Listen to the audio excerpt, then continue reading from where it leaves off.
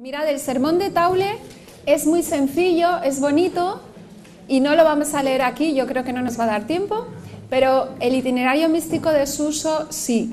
Os lo estamos repartiendo porque os voy a explicar las imágenes. O sea, es por si queréis señalar algo, tenéis la explicación detrás. Eh, vamos a pasar, ¿qué es? Bueno, aquí estaba irradiando, ¿veis bien la imagen? Es una persona que está irradiando ese nacimiento del fondo del alma, esta presencia de Dios. Bien, eh, vamos a ir con la recepción del maestro Eckhart. Em, los dos discípulos de Eckhart son Enrique Suso o Susón y Tauler. Bien, eh, voy a empezar, me gustaría explicaros, bueno, cuando terminen, pero bueno, ¿puedo ir empezando? O... Sí. ¿Sí? A ver, vamos con Enrique Suso, o dicho en alemán, Heinrich Soise, ¿vale? O también se le llama Susón, Suso, Susón. No sé si le veis aquí, esto es un manuscrito, el manuscrito más antiguo eh, de la obra de Suso, de hacia 1370. Lo vamos a tener aquí. Entonces, este Enrique Suso, Heinrich eh, que nace, no sabemos muy bien cuándo, de todos estos autores no sabemos cuándo nacen, sí sabemos cuándo fallecen, nace hacia 1295 y fallece en 1366. Entonces Suso retoma la enseñanza del maestro Eckhart, pero es mucho más didáctico y además él va a emplear distintos géneros literarios, no solo el género de sermón o el género de enseñanza, sino que va a utilizar poesía, va a utilizar unas narraciones en forma de diálogo, va a utilizar, es decir, narraciones didácticas, va a utilizar cartas. Y vamos a tener, también tenemos, eh, bueno, ahora vengo con las obras. Bueno, entonces utiliza él, realmente Suso era una persona muy sensible y era muy hábil con, la lengua, con la lengua alemana. Entonces va, a utilizar también muchas metáforas. Em, sí, es, más poético que el maestro Eckhart. Entonces él propone lo siguiente, o sea, ¿os acordáis que decíamos de Eckhart que hay que expulsar las imágenes, ¿no? Entonces, ¿cuál va a ser la estrategia de su uso? Va a ser expulsar las imágenes a través de imágenes. Entonces él va a utilizar muchas imágenes, muchos ejemplos, muchos relatos, eh, muchas metáforas para trascenderlas todas. Pero él utiliza mucho más la imaginación. Entonces, eh, en esto es pues, muy didáctico y sus manuscritos sí que eh, están ilustrados, o sea, tiene ilustraciones. Aunque todas las imágenes han de ser trascendidas. En el fondo no nos tenemos que apegar a una representación, a una imagen. Entonces, va a utilizar también lo que llamamos una mística nupcial, es decir, que se va a servir de esta imagen del amor con Dios, la relación con Dios, para, eh, para hablar bueno, pues de la relación de nosotros con Dios, va a utilizar la del enamoramiento, como en el cantar de los cantares y como las beguinas. Entonces, en esta mística de amor, en esta mística nupcial, va a referirse como él es un varón, a Dios en femenino, como la sabiduría, o a veces también como la deidad, die Gottheit, que en alemán es femenino. Pero va alternando, a veces es el Hijo, es masculino, ¿no? nuestro Señor, o la sabiduría, que es femenino. Entonces, a veces esta relación amorosa es de la sabiduría con el siervo, el discípulo amado, él es el, el discípulo o el siervo de la sabiduría, o el servidor de la sabiduría, entonces, sabiduría y el siervo. O también el Señor Jesús, que es masculino, con el alma humana. Entonces va alternando. A veces habla en femenino, a veces habla en masculino. Y para él la sabiduría, esta representación de Dios, es belleza, atracción, a veces es como una madre, como un amante. Bueno, em, sus obras son eh, son las siguientes. Va a reunir, o sea, en esto es novedoso y tiene una conciencia de autor eh, bastante mm, nueva, ni, Tauler, ni Eckhart, ni ningún autor anteriormente decían, esta es mi obra. Sin embargo, Suso va a decir, este es el ejemplar de mi obra y va a reunir eh, cuatro de sus obras en un ejemplar. Va a decir, este es el ejemplar. Entonces, ¿cuáles son las cuatro obras? La vita, ¿por qué os he puesto vita en latín y no vida?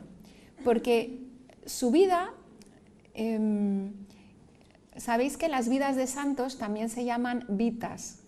¿Y cuál es la intención de la vida de un santo? Es enseñar, ¿eh? no tanto narrarnos. O sea, claro, esa figura está presentada como modelo. Entonces, el género literario de la vida de Suso em, es difícil de determinar porque a veces es una autobiografía, pero otras veces es más bien una vida de un, o sea, un modelo, o sea, es una narración didáctica. Y a mí me parece importante que lo entendamos esto porque si os acercáis a la vida de Suso, pues em, entonces él va contando, bueno, siempre habla en tercera persona, entonces es muy bonito que la vida de Suso no la escribe, no la empieza a escribir él, la escribe su discípula. Él tenía una amiga espiritual o una discípula que se llamaba Elsbeth Stagel, una, una dominica. Entonces, Elsbeth, que escribía vidas de santos, las vidas de su monasterio, le va sacando las cosas que él le cuenta y las va escribiendo. Claro, cuando él se entera que ella ha escrito su intimidad, pues se enfada un poco y se lo hace quemar. Pero luego decide retomarlo y añade al final otra parte. Entonces no se sabe muy bien quién escribió la vida de Suso, lo escribió ella en parte y luego ha añadido él una parte final. Entonces esta vida tiene, entonces cuenta, eh, siempre está en tercera persona, habla del, del siervo o el servidor de la sabiduría y entonces pues lo que le pasa al siervo, su conversión, las cosas que le van pasando, sus aventuras en la predicación y después, al final, pues establece como un diálogo con su discípula, es como una enseñanza para, o sea, todo el libro es una enseñanza, pero la última parte ya es para las personas que sí que progresan. Entonces, em, entonces sí que en Suso tenemos este, em, de alguna manera, sí que tenemos estas etapas, los que se inician, los que progresan y los que aspiran a la unión, por así decir. Entonces, tanto en la vida tenemos estas tres etapas, como si vamos mirando en los libros, eh, de alguna manera la vida y el libro de la sabiduría eterna sería para los que se inician y, o sea, la vida para los que se inician, el libro de la sabiduría van progresando y el libro de la verdad ya nos habla de la experiencia de la unión y todo esto del nacimiento. Él no va a utilizar exactamente el nacimiento, pero sí que está detrás este trasfondo. Y las cartas también son un itinerario espiritual desde los que se inician hasta la unión. ¿Eh? Entonces todo el tiempo es como una ola tras otra, eh, una progresión. Entonces él sí que es muy pedagógico y entonces tiene estos cuatro libros. La Vita, que es la vida, esto que os decía, que por cierto está publicado en castellano una muy buena traducción de Blanca Garí, que vino aquí a dar otras charlas si estuvisteis.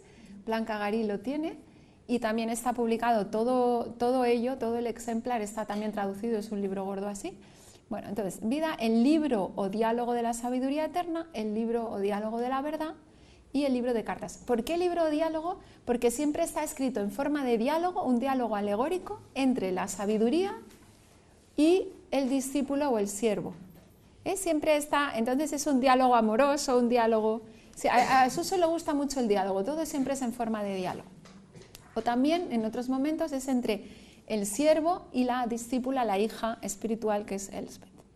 Bueno, y también, además de estas obras alemanas en el ejemplar, Suso predicó sermones y, escribió muchas cartas. Entonces tenemos un gran libro de cartas, de esas cartas él extrajo solo 11 que están en el ejemplar. ¿vale? Entonces ahí estáis viendo las obras alemanas.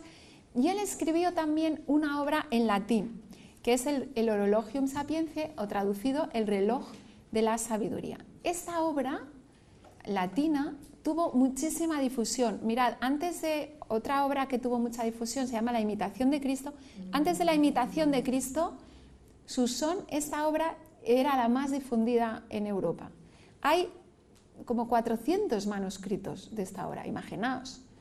Está traducida a todos los idiomas, también al castellano, a todas las lenguas vernáculas, decíamos, es decir, a todas las lenguas, está traducida al francés, traducida al, em, al, holandés, traducida al sueco, traducida al polaco, o sea, todas las lenguas, al italiano. Eh, y también, entonces, el editor de la edición crítica no sabía que había una en español y yo he encontrado un manuscrito en la Biblioteca Nacional de 1420 con la traducción española del reloj de la sabiduría. Eh, ya, fijaos, es decir que yo me preguntaba, esto tiene que estar también en español y tiene que haber seguro una traducción al catalán porque en ese momento eh, lo que pasa que yo no, no la he sabido encontrar porque están muy mal en España. Bueno, los manuscritos es bastante complicado acceder a ellos y los catálogos no están bien digitalizados, cosa que en otros países, en Alemania, está todo, los, o sea, tú puedes consultar los catálogos en línea, no tienes que ir a las bibliotecas.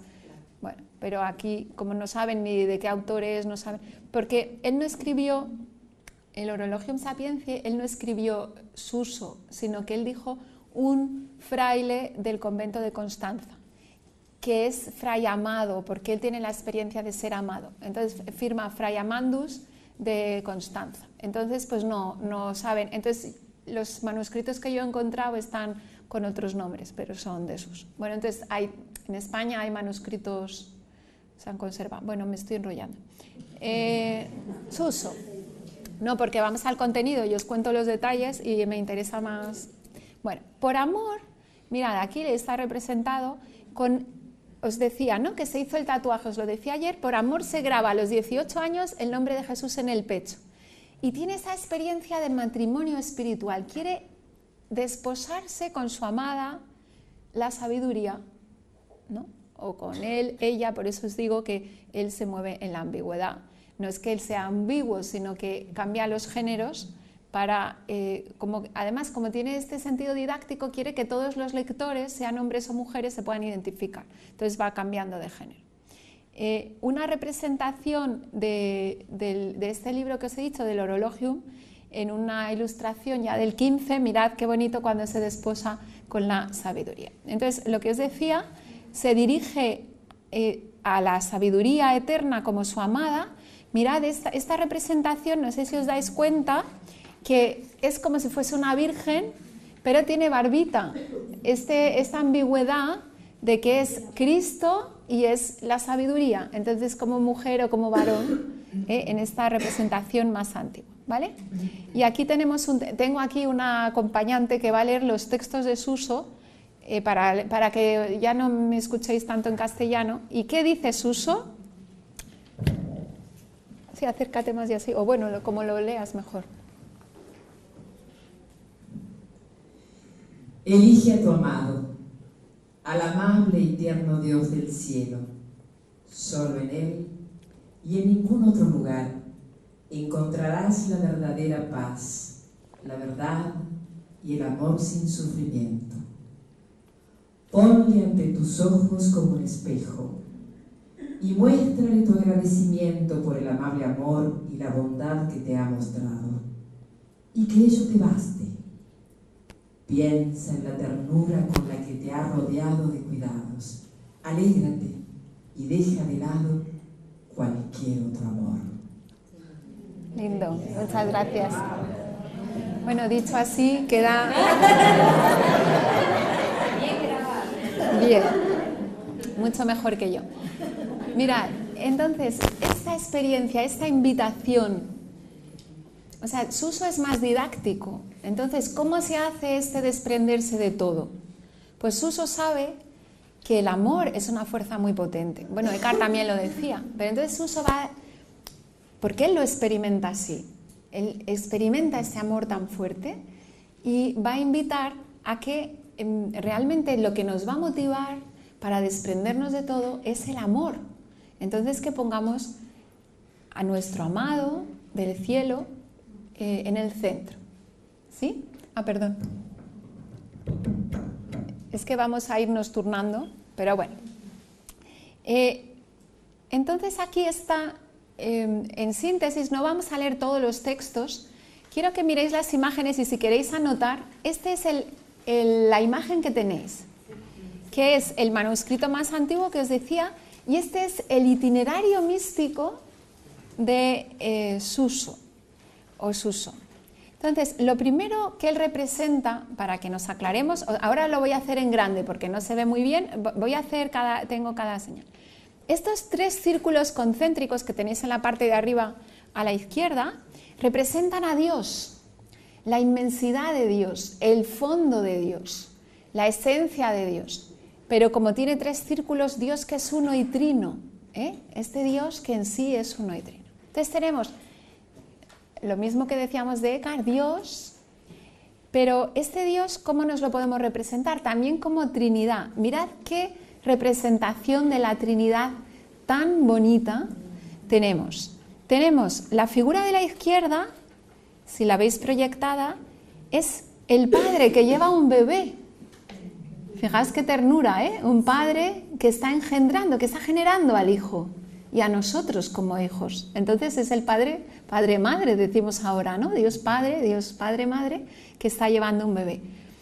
La figura de la derecha, que está así como con los brazos cruzados, representa al Hijo, el Hijo que es el que se abandona y hace la voluntad del Padre, el Hijo que está como ofrecido como el varón de dolores, vamos a ver, ¿no? En muchas representaciones de la época, y Fijaos qué bonito el vínculo entre el Padre y el Hijo, que es el amor, es el Espíritu Santo. Y es esa figura que les está abrazando a los dos. Y por si acaso no quedaba claro, arriba han pintado después una palomita para señalar cuál era el Hijo, cuál era el Espíritu Santo, por si alguien no se acordaba que, mirad, en la Edad Media representan al Espíritu Santo también como un lazo, es el nudo eh, entonces lo representan de diversas maneras, pero después del concilio de Trento ya todas las otras representaciones están censuradas y solo se puede representar al Padre como un viejo con barba, el Hijo ya sabemos cómo se le representa y el Espíritu Santo como una palomita. Y todas las demás representaciones fueron eh, censuradas. ¿Eh? Sin embargo, antes de Trento, antes del siglo XVI, había otras representaciones de la Trinidad, Fijaos que es esta dialéctica Trinidad, unidad, unitrinidad, ¿vale? Muy bien. No sé si os habéis dado cuenta que todas las figuritas, mirad los dibujos, porque esta ya la tendréis, vosotros mirad ahora la proyección, todas están unidas con unos circulitos concéntricos. Y aquí vamos al ser humano. El ser humano es creado a imagen y semejanza de Dios. Y esta imagen y semejanza de Dios, este fondo que tienen todas las figuras, fondo de Dios, fondo del alma, o sea, las figuras tienen, a ver, los círculos concéntricos, todas las figuras tienen que representan el fondo ¿eh? de Dios y el fondo del alma, que es la capacidad de Dios. Y todas las figuras están conectadas por el fondo. ¿Sí? Entonces, mirad, Suso experimenta una vez, mirad esta imagen qué bonita, miradla. En un momento dado, os cuento lo que representa. Suso estaba teniendo un momento de tristeza, de desconsuelo, de sentirse abandonado por Dios. Y entonces está ahí, entonces le dice a la sabiduría, es que me has dejado de lado. Y dice, tú mira en tu interior. Y mira y reconoce que en, el, que en, el, en su fondo está la sabiduría abrazando su alma. Mirad, el alma en la Edad Media se representaba como un bebé.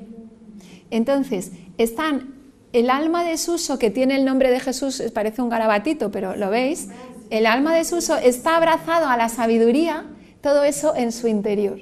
Bueno, a mí, esto, a mí esta imagen me parece muy tierna. Es una imagen, claro, que ha de ser trascendida, pero mirad qué bonito que nos imaginemos que la sabiduría o que Jesús o que la Virgen, como nos lo imaginemos, nos está abrazando. ¿Eh? Qué bonito. Bueno, entonces esto para qué Los que comienzan. Entonces, Suso sí que va a hablar de tres etapas, los que comienzan. Los que comienzan están representados, bueno, me salté, o sea, después de la Trinidad viene un ángel, la, naturaleza angélica, y hay un ángel caído, no sé si lo veis ahí, que ese se ha separado del fondo de su alma, ¿eh? se ha separado de... Bueno, ese es un garabatito que está como añadido después, ese es el demonio que se ha separado el ángel caído. Pero vamos a los que comienzan. Entonces es una figura de una mujer, el ser humano femenino. Está dirigido a mujeres y también, oye, ¿por qué no vamos siempre representamos a los varones? Pues oh, ser humano. Los que comienzan son llamados por el amor de Dios, se sienten llamados e inician un proceso de interiorización. ¿eh? Vuélvete hacia adentro. Y entonces, ¿qué pasa? Pasan del hombre exterior al hombre interior. Y han de dejar atrás pues todos los apegos, todas las distracciones, todo aquello que pueda alejar del amor de Dios lo que se desvanece y termina con la muerte. Y aquí está representado esto del amor cortés, parece un hombre y una mujer que están danzando, que están amenazados por la muerte. Mirad, el amor cortés era muy lindo, pero siempre era un amor prohibido. Siempre era un amor prohibido. ¿Por qué? Porque como te casaban, tú de quien estabas enamorado era de quien estabas enamorado, no era de quien te tocaba. Entonces, ¿qué sucedía? Muchas veces también muchas religiosas las metían monjas de pequeñitas, como habíamos dicho.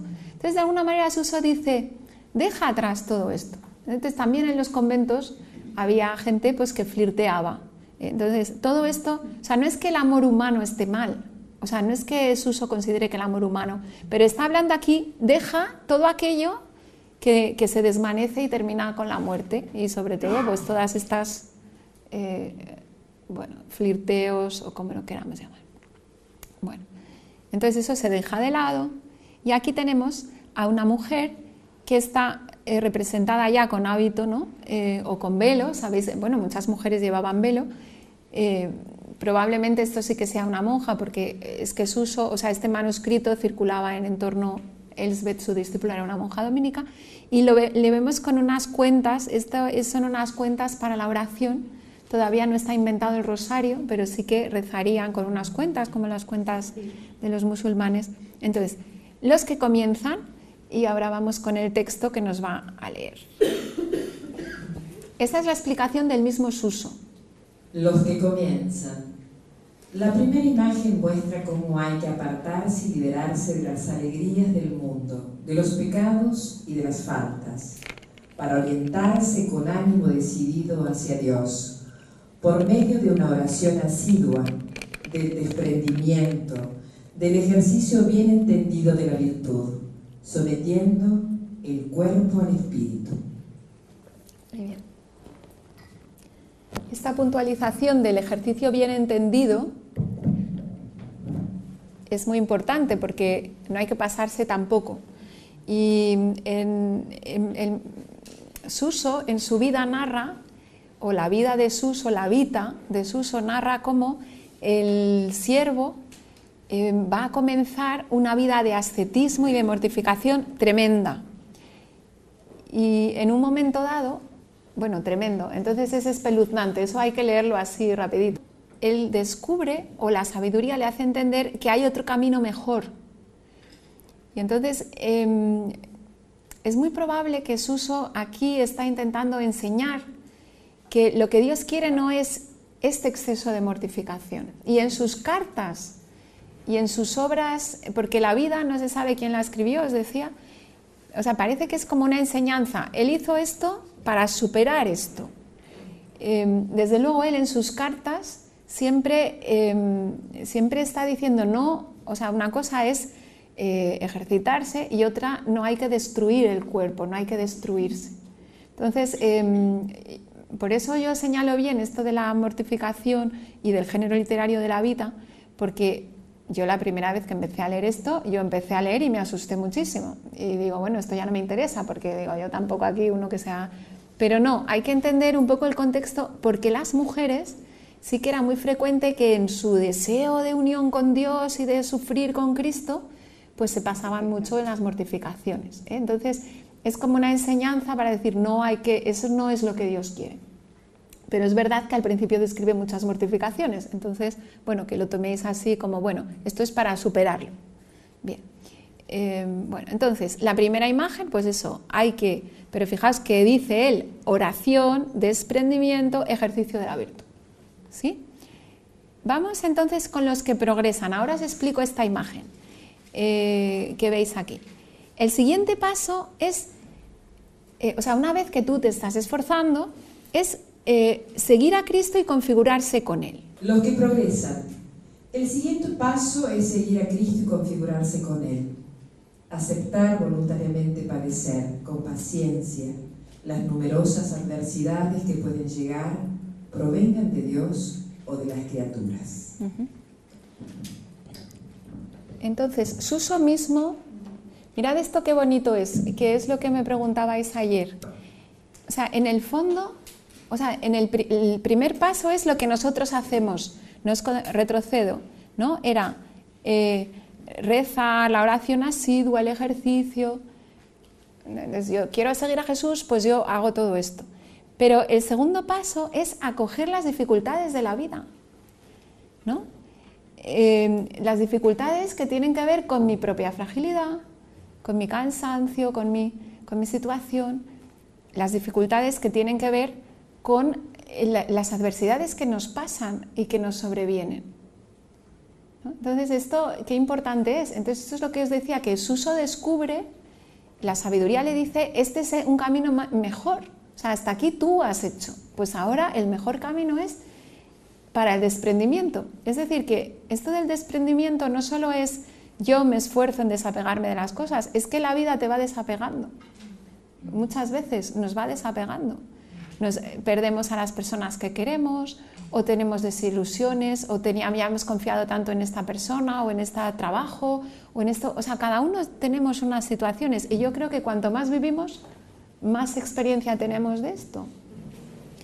Entonces, Suso eh, mm, luego vuelvo con esta imagen, pero él mismo experimentó en la vida grandes sufrimientos y aquí está representada en la vida de Suso, mirad, simbólicamente, entonces, por un lado, eh, están unos frailes que le están pinchando. ¿Por, qué? Con una lanza. Porque unos frailes le acusan de escribir libros heréticos por defender al maestro Eckhart. Luego, eh, Suso no era herético. Yo creo que por eso em, utiliza este género literario más alegórico, más simbólico, porque había que tener mucho cuidado. La reacción que os contaba de la orden del nuevo del maestro general de la orden fue poner un nuevo provincial francés que no entendía nada de la cosa y de poner a todos los priores a Suso le quitan de ser prior, por supuesto ya no le mandan a París. Suso estudió en Colonia, es decir, Suso entra muy joven en la orden em, y va a tener, bueno, Suso va a tener muchísimos escrúpulos porque la, edad de entrar en tiempos de Suso eran los 15 años y él entra a los 13.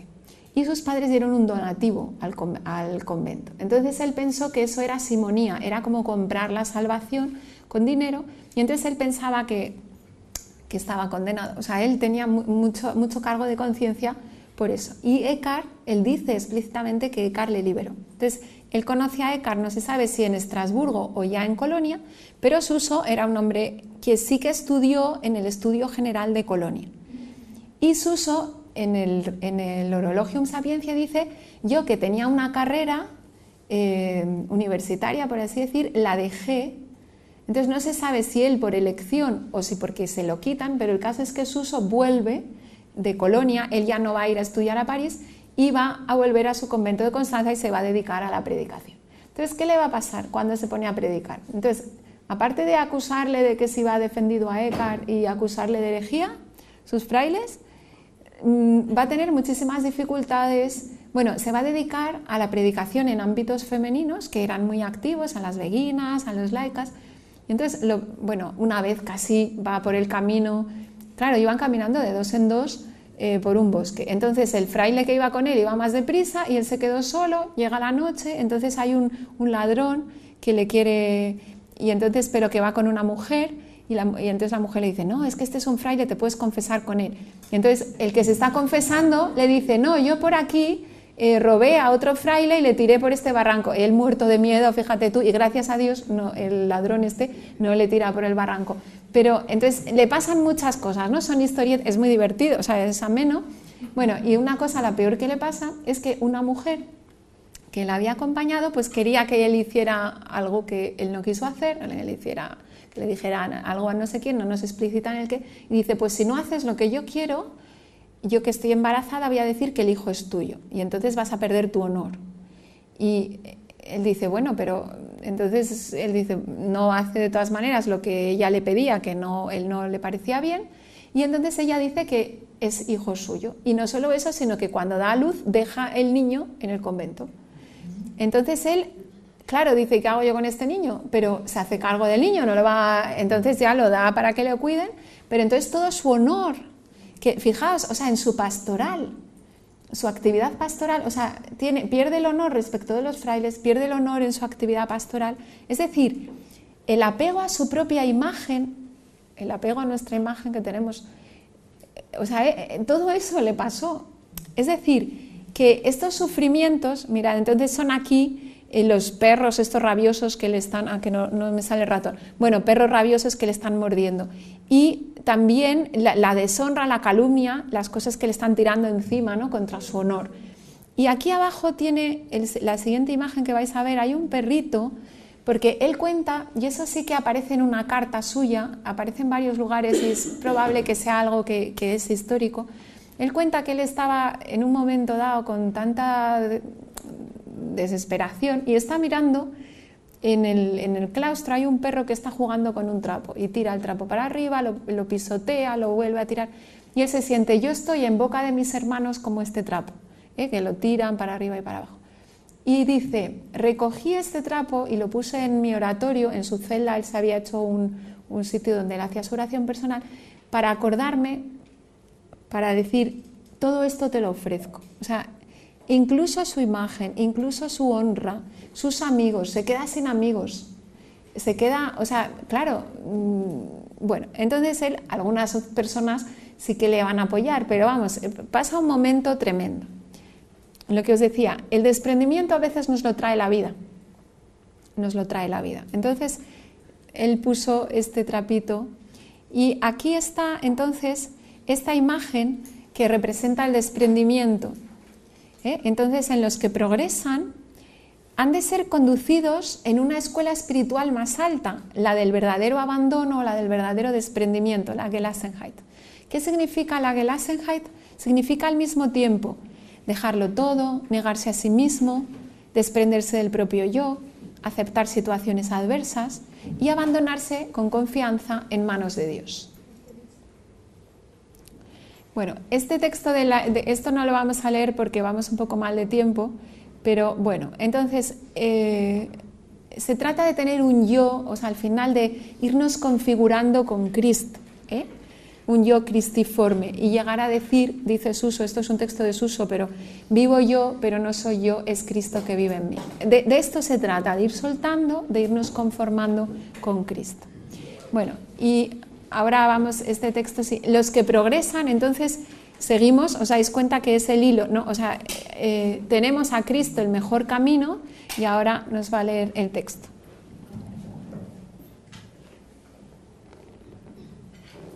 Los que progresan, tenemos en Cristo el mejor modelo y camino. Hay que reproducir en sí mismo la pasión de Cristo crucificado, su suave enseñanza, su dulzura y la vida pura que nos ha dejado como ejemplo. Y así, gracias a Él, penetrar más adelante. Tú y todos los que quieran caminar tras de mí, dice Jesús, la sabiduría, han de abandonarse, cargar con su cruz y seguirme, pues. Una persona abandonada ha de estar desprendida de las formas creadas, conformarse con Cristo y ser transformadas en la deidad. Esta es la dinámica que os decía, que os decía en el esquema al principio de, este, de, hoy, de formarse, o sea, este juego de de formarse, conformarse, transformarse, podríamos decir, ¿no? Eh, transformarnos en la deidad. Y aquí tenemos una imagen muy bonita de Suso contemplando a Cristo y sabéis que el árbol de la cruz también es árbol de la vida. Entonces el árbol que florece. Y hay un niño, un adolescente, que está tirando rosas. Las rosas significan el dolor, el sufrimiento desde el amor. ¿no? Entonces, como eh, Jesús, representado como un niño, como un adolescente, le está tirando, le ha tirado distintos sufrimientos, pero ¿cuál es la clave que ha entendido? Aquí estas cartelas, ¿no? estos que van explicando, dice, he entendido porque em, el amor, o sea, con, el sufrimiento, bueno, el sufrimiento he entendido la cercanía del amor de Dios que sufre conmigo. Entonces, el sentido del sufrimiento, de alguna manera, el camino más rápido para el desprendimiento, para llegar a una persona, es haber sufrido. No es que Suso diga que hay que sufrir, sino que los sufrimientos que nos sobrevienen nos ayudan a desprendernos. Entonces, al final, estamos más desprendidos. No es mi propio esfuerzo, ¿Entendéis?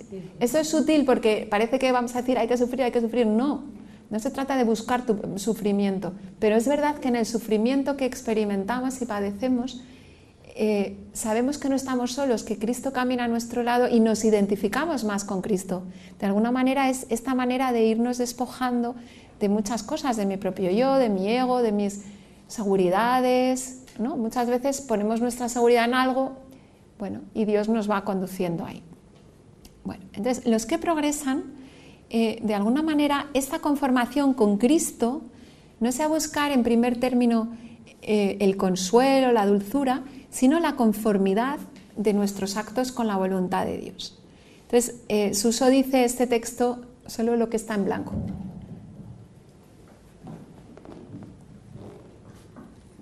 Lo mejor para un alma sedienta de Dios es a mi juicio, conocer qué quiere Dios de ella, cómo puede complacerle y cómo debe gozar de las delicias de su amor y de su intimidad.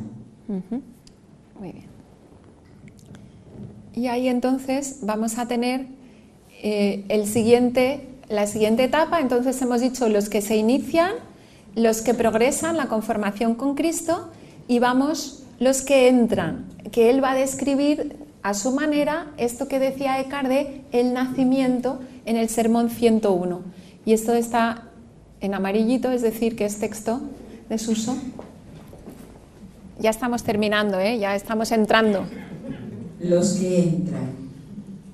A continuación, el hombre ejercitado llega a desapropiarse de sus sentidos exteriores, que anteriormente tenían una actividad demasiado grande y el espíritu, suspendiendo sus potencias superiores, llega a un sentimiento sobrenatural.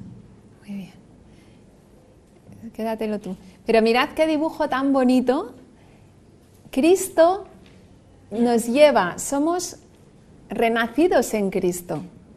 Y dice así el texto.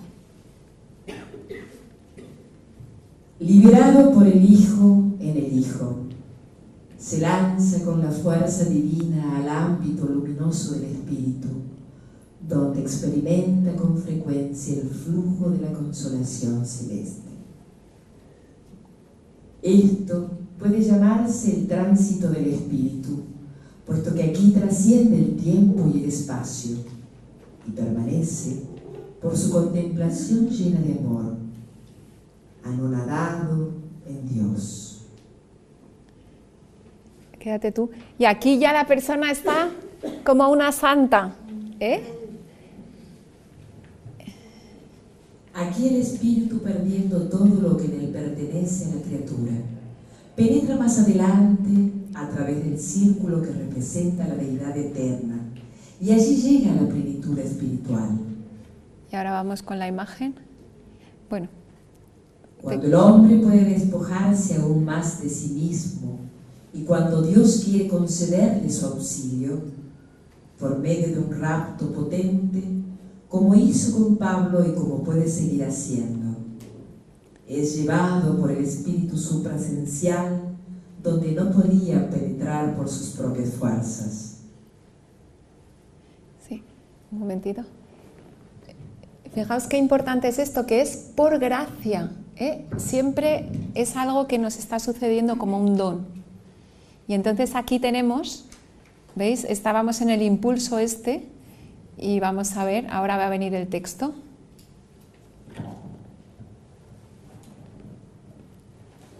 Por un impulso es devuelto junto con las tres personas al abismo de la simplicidad inmanente donde goza de su bienaventuranza, según la más alta verdad. Mirad, y aquí pasa esta representación es como una tumba, o sea, es como eran las tumbas medievales. Entonces es como una muerte del espíritu. Este éxtasis le despoja de imágenes, de formas y de toda multiplicidad. Llega a una ignorancia que le hace olvidarse de sí mismo y de todas las cosas. Allí ya no hay lucha ni esfuerzo, pues el principio y el final se han vuelto uno y el espíritu humano está despojado de sí mismo y se ha vuelto uno con él, con el abismo de la simplicidad, simplicidad divina con Dios. Aquí se experimentan maravillas con un asombro mudo que se expresa con silencio. En esta tiniebla supraluminosa y oscura, que es una claridad luminosa que supera toda revelación, en la cual todo está reflejado y que colma al cegado intelecto humano con luces desconocidas, invisibles, deslumbrantes. ¿Veis lo que decíamos? Luz, oscuridad, ¿eh? todo esto. Y aquí está esta em, representación. ¿Habéis visto? E, ese era el mismo texto de Suso.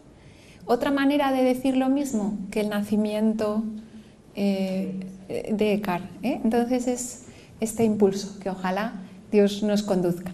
Y rapidísimo, solo una diapositiva más. Bueno, aquí, hasta aquí Suso. Entonces que sepáis que Tauler, que el pobrecillo también le vamos a mencionar, es otro discípulo del maestro Eckhart que vive entre 1300 y 1361, que escribió o predicó muchos sermones, nos han quedado 81 sermones alemanes.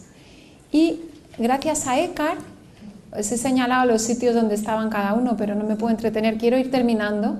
Se va a crear este grupo de los amigos de Dios que difunden, que se escriben cartas en Constanza, en Basilea, en Estrasburgo, y esta mística renana va a difundirse a través de manuscritos de Eckhart, Suso y seguramente alguno de Tauler, y sobre todo en los manuscritos latinos en el siglo XIV y XV del Orologium de Suso, y sus incunables, sabéis que las primeras impresiones que no tienen ciudad se llaman incunables, entonces hacia 1480 lo primero que se imprime es el Orologium de Suso. ¿eh? Es el, autor, nosotros casi no lo conocemos, pero es el era el más importante en ese momento. Y entonces vamos a tener que en el siglo XVI las obras de Tauler se van a imprimir y se van a traducir al latín. ¿eh? Entonces, hubo un cartujo que se llama Lorenzo Surio, que incluye en, las obras de Tauler, es como un libro donde están todos los sermones del año litúrgico. Entonces incluía sermones de Eckhart, de Suso, alguno de Ruiz Broek, pero básicamente muchos de Tauler, que es esta impresión de aquí. Y aquí, si vemos el índice que está aquí, viene conciones, significa sermones, pero también las instituciones divinas, que es como un, refrito de textos de Eckhart y de Tauler y de Suso, de, la mística eh, renana. Y también, si veis, ponen Convivium M. Cardi, que está en verde, Susonis, es decir, que en esta impresión de Tauler del siglo XVI van a estar los tres, pero además de Tauler, vamos a tener una edición de las obras de Suso en 1555 también traducido al latín. Entonces, todo esto va a hacer que se difunda Suso y Tauler. Eckhart ya no le mencionan más, aunque aquí en, la, edición esta anterior hay cosas de Eckhart y sí que está mencionado como Eckhart. ¿vale? Y entonces estos textos serán traducidos al castellano para que sepamos cómo llegó a Argentina, cómo llegó a España. Eh, Reloj de la Sabiduría de 1430, este manuscrito que os he dicho, y sobre todo las instituciones de Tauler, este refrito de textos, se escribe y se traduce en 1551 en Coimbra. Y Teresa, Santa Teresa de Jesús leyó esto. ¿eh? Santa Teresa y los, Bueno, y San Juan de la Cruz leyó a Tauler y a, o sea, también en latín, ¿eh? San Juan de la Cruz que sabía latín. Entonces esto va a estar en España en el siglo XVI y esto es, que es esta colección de textos espirituales. Y llegó, entonces en, en estas instituciones está recogido el discurso de discernimiento de Eckhart, ¿eh? retransformado un poco, pero y también otros textos de la devoción moderna. Entonces, para que lo veáis, esta es la foto de las instituciones. Entonces, de alguna manera, si en el siglo XVI era conocido, eh, va a venir también eh, hasta aquí pues toda esta tradición. Uno que recibió mucho, un dominico que recibió mucho, Fray Luis de Granada, y Fray Luis de Granada también va a llegar hasta aquí, hasta América Latina. Bueno, entonces con esto terminamos el curso.